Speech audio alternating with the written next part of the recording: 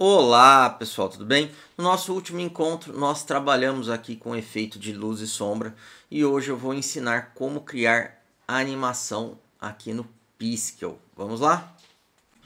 Bom pessoal, como eu havia comentado, nós vamos trabalhar com animação, tá? Nossa primeira animação, pessoal. E olha só o que, que eu peguei aqui, ó. Peguei o nosso fantasma, estão lembrados dele? Aqui, ó. A única coisa que eu fiz eu deletei a setinha branca que estava aqui, tá? E nas layers, eu reparei que a layer do corpo eu tinha deixado com o nome layer, só isso que eu fiz. Eu mudei aqui, escrevi layer. Então, tá aqui o nosso desenho do fantasminha, beleza? E nós vamos trabalhar com a nossa primeira animação para conhecer a ferramenta e saber um pouquinho como que é essa parte de criação, beleza? Basicamente, quando eu trabalho com animação, pessoal, o que, que vai envolver? A criação da animação.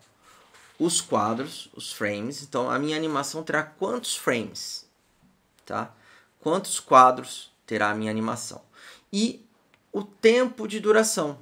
Então, se eu vier aqui nas configurações da ferramenta, ó, Preference, Máximos FPS. Aqui eu coloco quantos quadros eu quero que sejam exibidos por segundo. Então, se a minha animação tiver 16 quadros, eu posso configurar aqui uma quantidade de quadros que vai ser exibida por segundo na animação para a pessoa.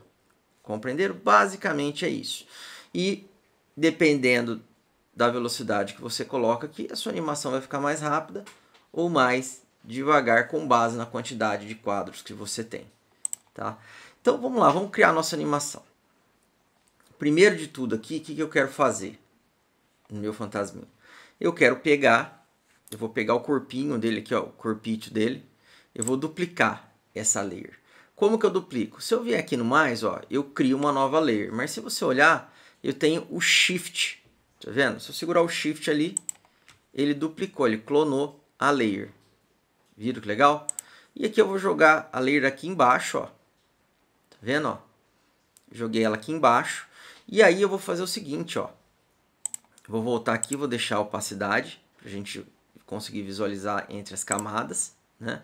E aqui eu vou colocar ó, o nome de fim corpo, finalzinho do corpo. Tá? E aí, o que, que eu vou fazer? Na layer do corpo, pessoal, ó, na layer do corpo, eu vou pegar aqui agora, ó, e vou fazer o seguinte. Eu vou vir e vou deletar o final. Deletar esse, vou apagar esse finalzinho aqui, ó. Então, eu vou vir aqui com Eraser, vou aumentar a quantidade de pixel aqui e vou apagar esse final, ó. Ó o tantão que eu apaguei aqui, ó, tá vendo? Pronto, ó, tá. Deletei, já era, não tem mais aqui. Fechou? Vou no fim do corpo. E eu vou fazer o processo inverso, vou apagar a parte de cima. E aí, para a gente visualizar, para ficar melhor, ó. Quando eu clico aqui no, fim, no corpo, Olha como é que ficou, né? Eu consigo ver ali a parte final. Ficou, ficou a mesma coisa. Deixa eu voltar para cima aqui. Então, no fim do corpo, o que, que eu vou fazer? Eu vou apagar tudo menos aquele finalzinho. Então, eu vim aqui, ó. Tô apagando. Olha ali. Então, tô apagando aqui, eu tô vendo o desenho lá de trás, ó. Fechei, parei aqui. Vou apagar mais uma leva, ó. Apaguei. Beleza. Apaguei. Opa, aqui eu já não posso apagar mais, ó, tá vendo? Até poderia, mas eu vou deixar esse pedacinho aqui. Então, o que, que ficou faltando? O que, que eu fiz aqui na realidade? O meu corpo tem toda a parte que não tem no fim do corpo. Estão vendo, ó? Viram que show de bola? Beleza, criei essas layers aqui. E aí eu vou fazer o seguinte agora, ó. Eu vou vir na minha imagem e eu vou duplicá-la. Dupliquei. Ó, vim no frame aqui, eu dupliquei. E eu vou fazer o seguinte aqui no fim do meu corpo, ó. Não tem o finzinho do meu corpo? Cliquei. Vou pegar a mãozinha Move Tool e vou subir ela. Subir ela aqui um risquinho, tá? E aí, olha só como ficou a nossa animação. Se eu pegar e clicar aqui, ó, só com isso que eu fiz. Ó o nosso fantasminha aqui, a roupinha dele. subindo e descendo, ó. Que legal. Animaçãozinha bem simples. Então tá aqui, ó, o efeito. Como se ele tivesse parado, né? E a roupinha aqui flutuando para cima e para baixo, ó. Maravilha?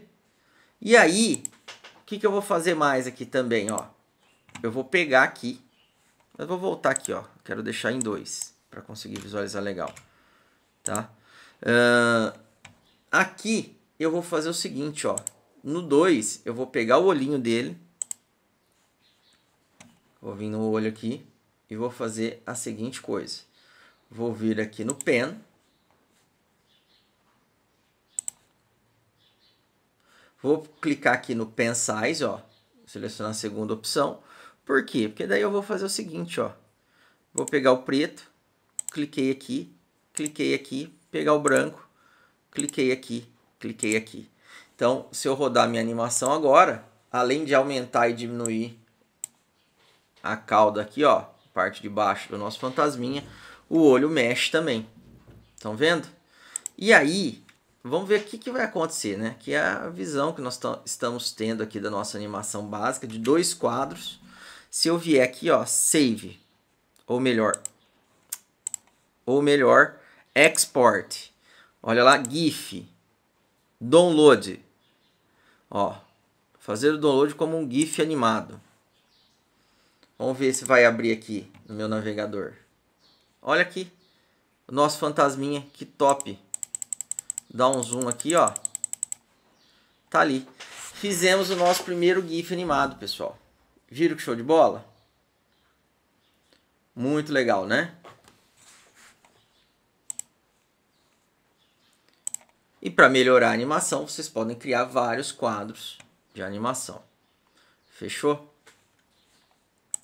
E aí, pessoal, só para vocês ilustrarem, é, qual é a quantidade tradicional de quadros por segundo? 24, tá? Geralmente é isso aí, 24 quadros por segundo que você tem que criar. Fechou? Mas isso pode mudar Tá? É configurável e você configura do jeito que você quer. Gostaram dessa primeira interação, pessoal? Aí quero que vocês brinquem aí, façam as atividades, peguem outro elemento para fazer, brinque com a taxa de quadros, com a quantidade de, de frames aqui e vejam o que, que acontece. Tá? Testem aí na prática. Fechou? Pessoal, espero que vocês tenham gostado. No nosso próximo encontro, nós vamos continuar trabalhando aqui com o Pixel Art e o Piskel. Um grande abraço, pessoal!